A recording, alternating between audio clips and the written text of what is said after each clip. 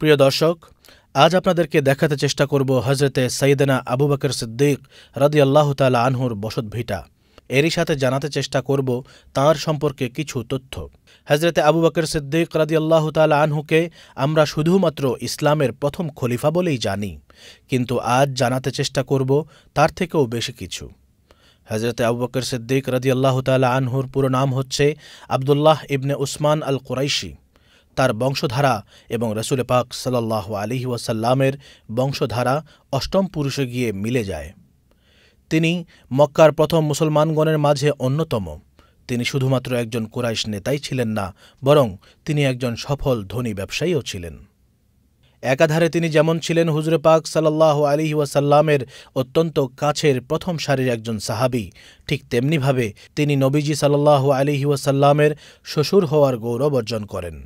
আমুল হুজন অর্থাৎ মহানবী সাল্লাহ আলহি ওয়াসাল্লামের দুঃখের বছর, যখন একাধারে প্রিয় নবীজি সাল্লাহ আলহি ওয়াসাল্লামের চাচা এবং হুজুর পাক সাল্লামের পবিত্র স্ত্রী হজরতে খাদিদুল কুবরা তাহেরা রাদি আল্লাহ তালা আনহা তারা ইন্তেকাল করেন।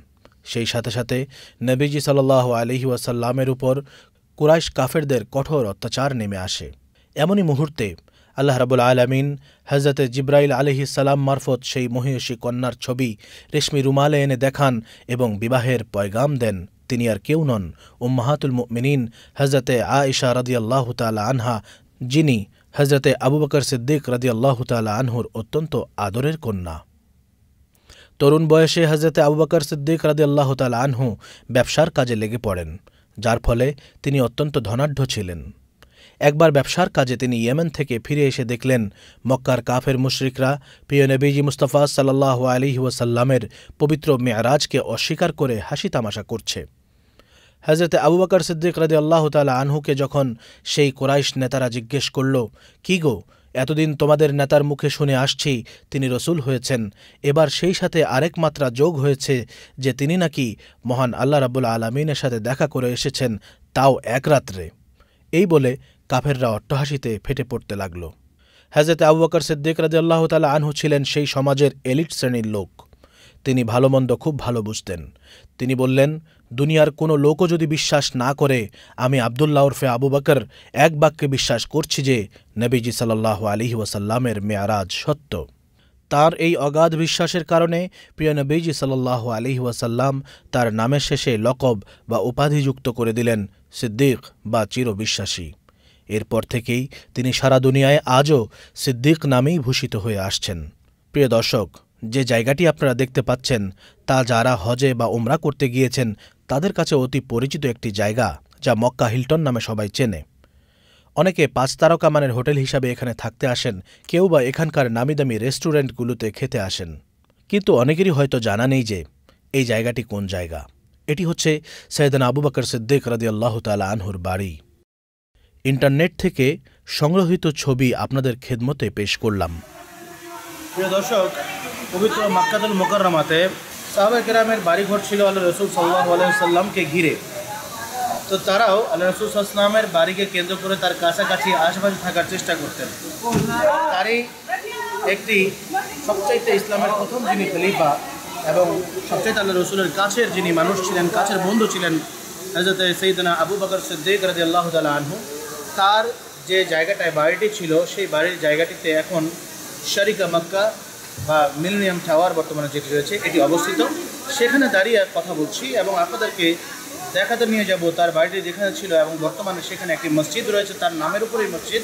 সেই মসজিদে আপনাদেরকে দেখাতে নিয়ে যাব, চলুন। হ্যাঁ এখানে বাড়ি বটে, কিন্তু এরকম ফাইভ স্টার হোটেল কখনোই ছিল না।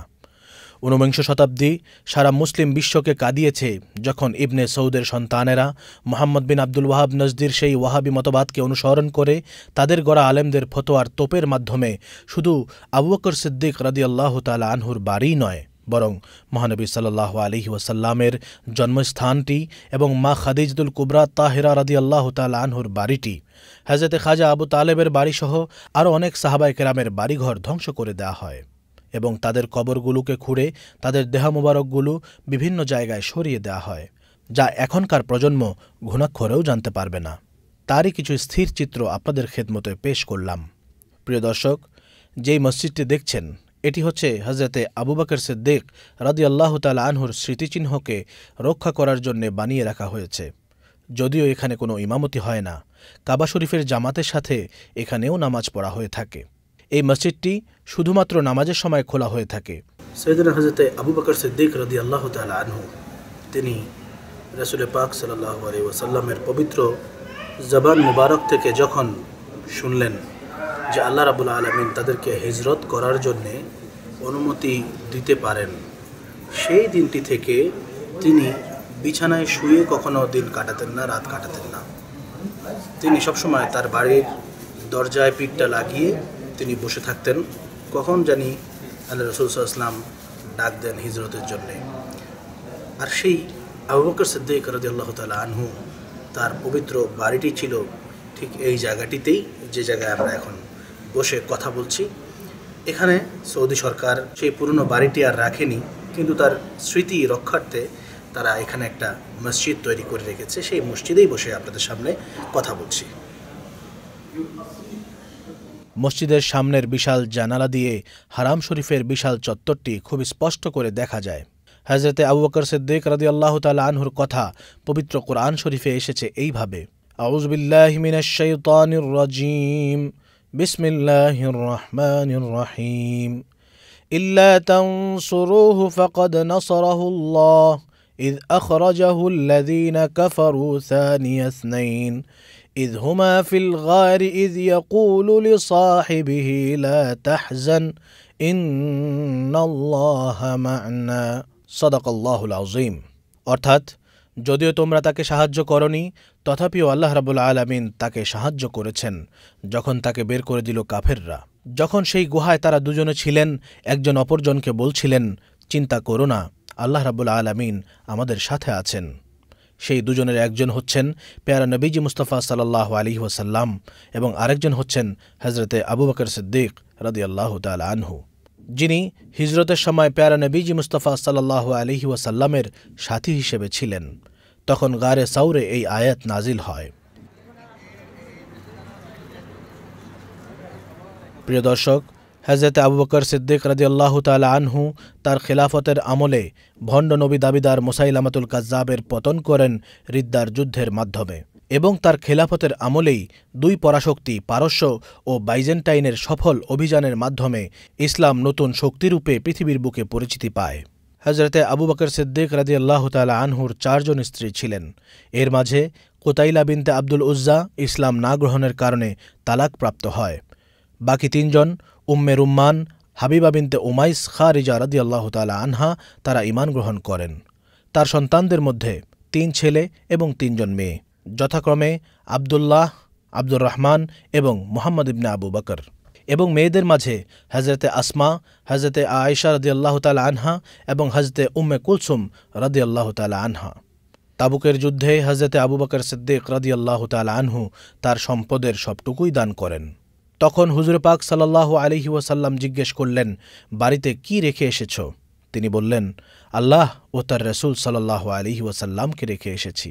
প্রিয় হাজি সাহেবদের প্রতি আরজ, সকলেই হজ করতে যান, কিন্তু এ ধরনের অনেক নিদর্শনাবলী না জানার কারণে অথবা মোয়াল্লিম পরিপূর্ণভাবে তার হাজি সাহেবদেরকে গাইড না করার কারণে মক্কা ও মদিনার অনেক নিদর্শনাবলী অজানা থেকে যায়। কিন্তু একজন মুসলমানের, তাদের পূর্বসূরিদের ইতিহাস জানা, আল্লাহ ও তার রসুলের পবিত্র নিদর্শনগুলোকে প্রাণ ভরে উপভোগ করাও এক ধরনের ইবাদত। সুতরাং শুধু তাওয়াফ আর জিয়ারতের মাঝে হজ ওমরাকে সীমাবদ্ধ না রেখে উপযুক্ত শিক্ষিত আশেক রসুল একজন গাইডের মাধ্যমে এসব জায়গায় আপনারাও জিয়ারত করার সুযোগ লাভ করতে পারেন। এই কাফেলা অনুষ্ঠানের প্রাণপুরুষ আমার আব্বাজান, যিনি আমাকে সাথে নিয়ে হাজি সাহেবদেরকে হাতে কলমে সঠিক ইতিহাস উপস্থাপনের মাধ্যমে এই বরকতময় জায়গাসমূহ জিয়ারত করাতেন, যা আপনারা পূর্বের কাফেলায় দেখেছেন।